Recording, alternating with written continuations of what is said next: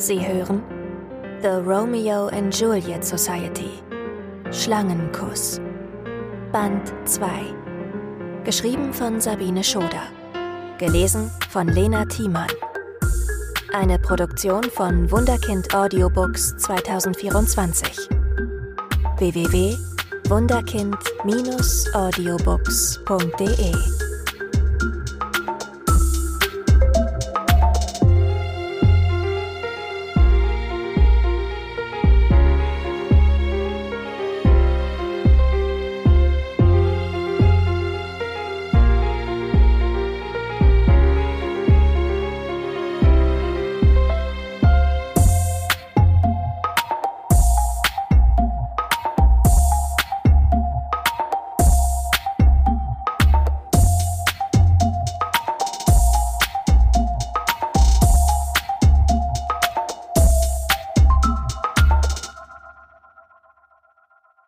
Triggerwarnung.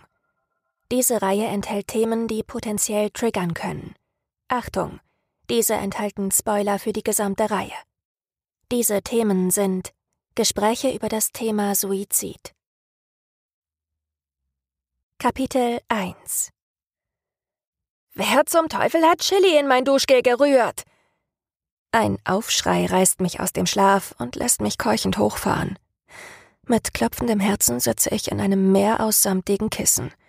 Kunstvoll gefärbte Stoffbahnen in Glutrot und Flammengelb drehen sich über meinem Kopf zu einer Zeltspitze zusammen. Einige Sekunden lang weiß ich nicht, wo ich bin. Dann steigt mir der Geruch von kaltem Rauch und teurem Aftershave in die Nase. Ein Duft, den ich kenne. Natürlich, das ist Katz Zimmer und es war seine Stimme, die mich aufgeweckt hat. Ich krabble über das Kissenmeer hinweg, ziehe die Zeltvorhänge mit beiden Händen auf und erstarre mitten in der Bewegung.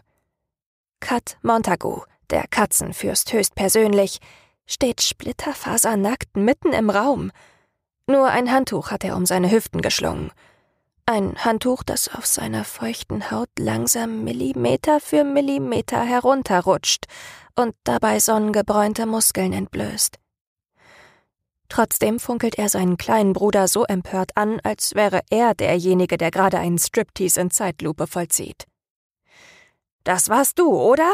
faucht er Ink an. Du hast Chili in mein Duschgel gerührt. Hast du eine Ahnung, wie heftig das auf rasierter Haut brennt? Ink verschränkt die Arme vor der Brust.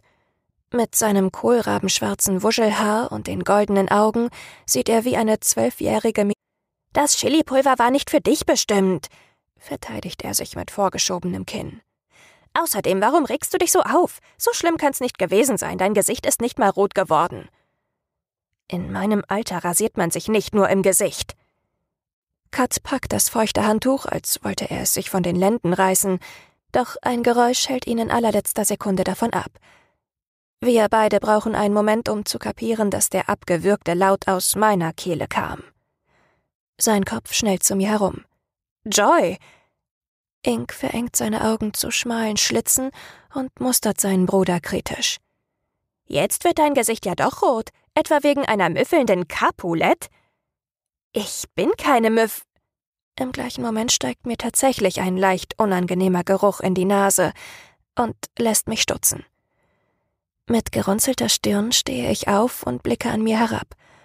Ich trage noch immer den schwarzen Duellanzug von gestern Nacht.